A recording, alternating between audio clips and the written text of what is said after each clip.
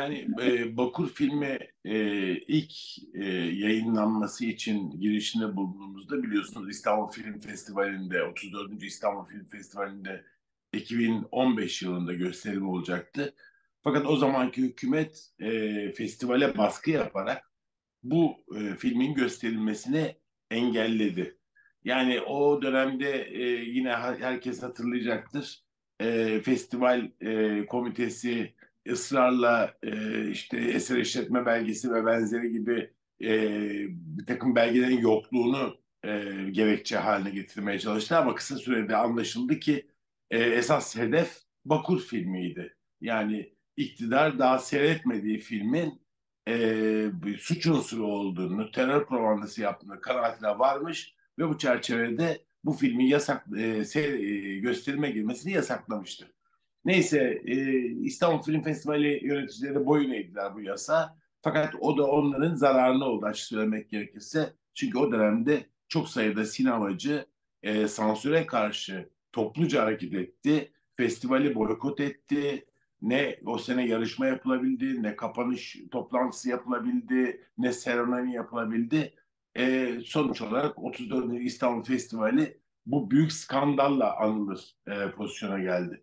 Ama iş burada kalmadı. E, bunu bir soruşturma konusu yaptılar. E, üstelik Batman'daki gösterimden kaynaklı bir soruşturma yapıldı. E, Yılmaz Güney sahnesinde e, film gösterimi olmuştu. Şimdi tam olarak tarihini hatırlamıyorum ama 2015'in e, e, Haziran ayı gibi, Mayıs sonları gibi bir tarihte yapıldı. Hatta o kadar fazla ilgi vardı ki filme iki kez üst üste gösterimi yapıldı Batman'da.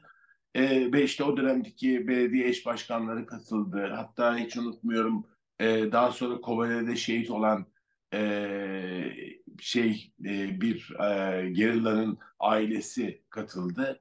E, Yohannis ikincinin ailesi. E, ve e, sonrasında e, soruşturma açtı. Filmin e, gösterimine girmiş olduğu Yılmaz Güney sahnesi de daha sonra işte bu kayyum belediyeye geçtikten sonra yakıldı.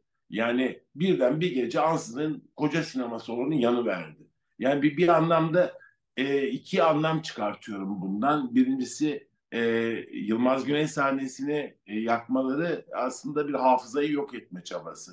Ama aynı zamanda belgesel filme e, bu e, salonda gösterilen belgesel filme dava açılmasının sebebi yine e, hafızayı silmek için. Yani belgeselin anlamı nedir diye şöyle bir düşündüğünde e, gördüğünüzü, e, tanık olduklarınızı doğrudan doğruya sinema salonuna ya da işte dijital ortamda aktarırsınız. Yani bir belgesel yönetmeninin yaptığı iş esas itibariyle budur. Zaten e, bu şekilde davranmıyorsa onun adı belgesel olmaz. E, Bakur hakkında ilk duruşma e, başladığında iddianame açıldı işte hakkımızda terör örgütü propagandası vesaire. E, ilk duruşma başladığında biz e, duruşmaya katıldık ve e, orada e, gerekli sorguyu dile getirdik.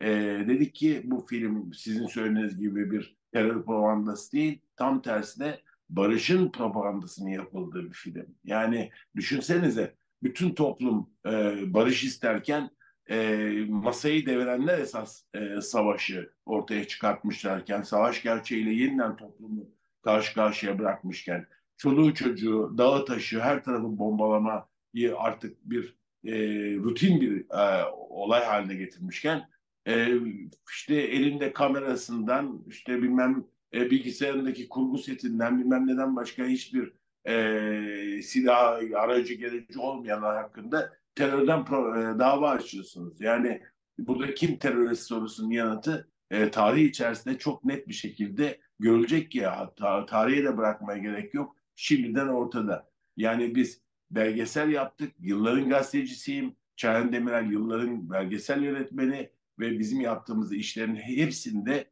hakikat vardır.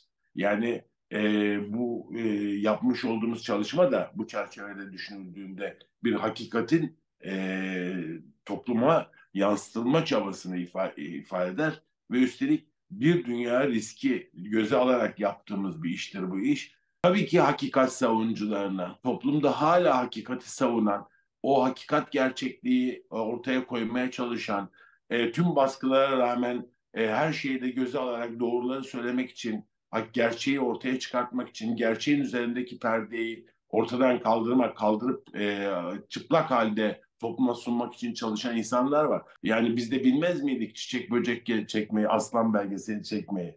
Yani e, biz biz e, bu, bu ülkede yıllardan beri sadece ölü ele geçirilenler ve benzeri gibi ifadeler altında, terör yaftası adı altında e, sunulmuş bir tarihsel, çarpıtılmış bir tarihsel gerçekliği yerli yerine oturtmak için sadece ve sadece devletin çarpıtmaları üzerinden e, tanıtılmış olan e, bir e, hikaye toplamını e, topluma tüm çıplaklığıyla doğrudan doğruya aracılık da etmeden yani işte kendimizi dahi göstermeden, kendi küçücük bir e, kelimemizi bile filmin içerisine sokuşturmadan e, aktarmaya çalıştık. İstedik ki toplumla bugüne kadar şeytanlaştırılmış olan bir siyasal örgütü e, karşılaştıralım, yüzleştirelim.